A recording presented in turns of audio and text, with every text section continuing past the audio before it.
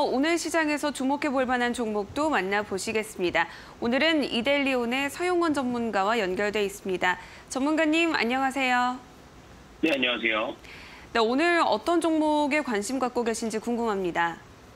네, 오늘 제가 관심 있게 보고 있는 종목은요. 첫 번째 종목으로는 두산 에너빌리티 보고 있고요. 두 번째로는 파라다이스, 그리고 세 번째는 덱스터, 그리고 마지막으로 아남전자 좀 보고 있습니다.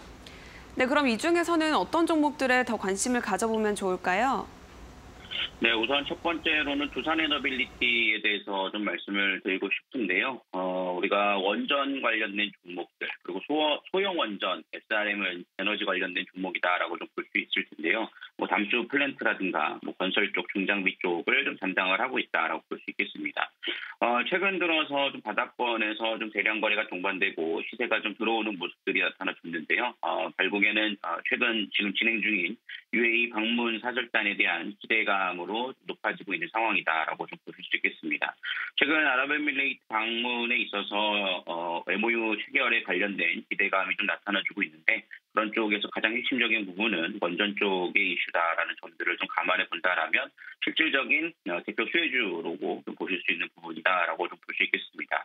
어, 두산 에너빌리티 같은 경우에는 조금 무거운 감은 좀 있을 수 있겠습니다만 어, 실적 개선세가 좀 뚜렷해진 상황이고 현재 지금 시장에서의 좀 실적들에 대해서 청산 가치를 살펴본다라면 어, 현재 국면은 좀 저평가된 국면은 확실하다라고 좀 볼 수가 있겠습니다. 어, 그로 인해서 최근 수급들을 살펴보시면 외국인과 기관성 수급들이 상당히 좀 강한 모습들을 좀 보여주고 있는데요. 특히 기관 수급들에서도 연기금 수급이 좀 강한 점을 감안해 본다라면 저가 매수에서 장기 투자 관점에서의 수급이 유입되고 있다는 점을 감안해 볼 때 현재 가격은 좀 눌림목 조정 시에는 좀 충분히 공략할 수 있는 자리다라고 좀 생각을 해보실 수 있기 때문에 어, 두산에너빌리티 UAE 관련된 섹터로서 어, 좀 살펴보시면 좋겠다라고 말씀을 좀 드릴 수 있겠고요.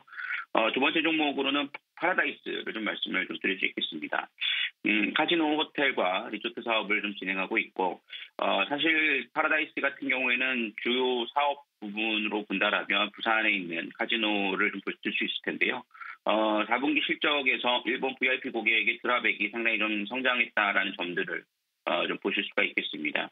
물론 hold율 자체가 조금 감소했다라는 점이 좀 아쉬움을 좀 작용했기 때문에 지난주 목요일에 좀 조정을 좀 받는 모습들은 있습니다만 어, 중국 관광객이 인천에 통한 어, 유입을 이루어진다라면 어, 파라다이스시티 쪽에서에 대한 매출도 상당히 좀 기대감을 좀 갈 수 있기 때문에 23년도 실적 개선세에 대한 기대감들은 여전히 있다라고 볼 수 있겠습니다.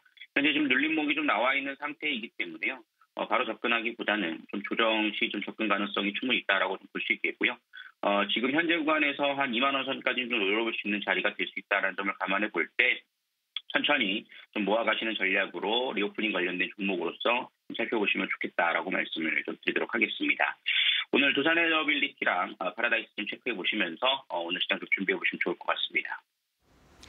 네, 알겠습니다. 지금까지 서용원 전문가와 함께했습니다. 오늘 말씀 고맙습니다.